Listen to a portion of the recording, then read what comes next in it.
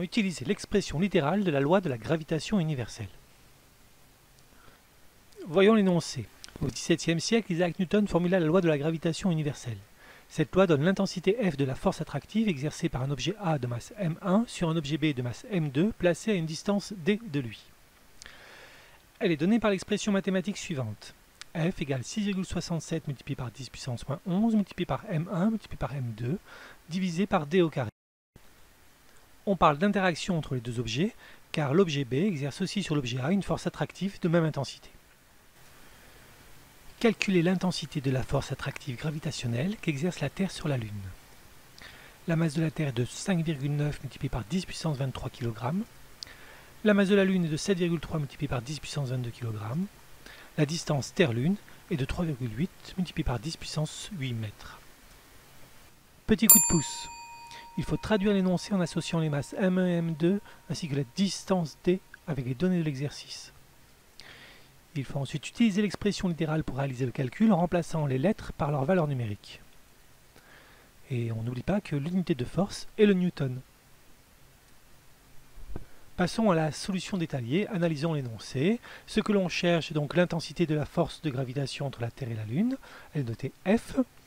Elle est donnée dans l'énoncé par la relation mathématique F égale 6,67 multiplié par 10 puissance moins 11 multiplié par M1 multiplié par M2 divisé par D au carré. L'énoncé nous donne la masse de la Terre qu'on notera M1 égale 5,9 multiplié par 10 puissance 23 kg. La masse de la Lune M2 égale 7,3 multiplié par 10 puissance 22 kg. Et enfin la distance Terre-Lune D égale 3,8 fois 10 puissance 8 mètres. On peut maintenant passer à la rédaction de la réponse à la question et calculer la densité de la force de gravitation qu'exerce la Terre sur la Lune. On rappelle la règle des 4 C. On écrit tout d'abord ce que l'on cherche, puis ce que l'on connaît, ce que l'on calcule, enfin on conclut par une phrase. On écrit donc, euh, on cherche l'intensité de la force de gravitation F. On connaît M1 égale 5,9 fois 10 puissance 23 kg, masse de la Terre. M2 égale 7,3 fois 10 22 kg, masse de la Lune. La distance qui sépare la Terre de la Lune, D, égale 3,8 fois 10 puissance 8 mètres.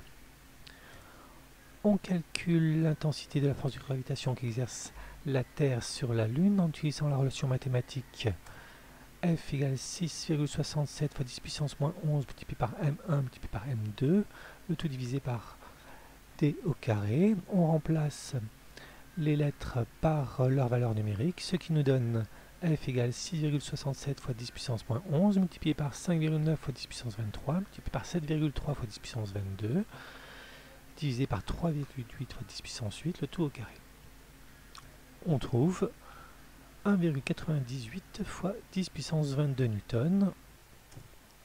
On peut conclure par une phrase du type la Terre exerce sur la Lune une force de gravitation de 1,98 fois 10 puissance 22 newtons. Et on n'aura pas oublié d'indiquer les unités.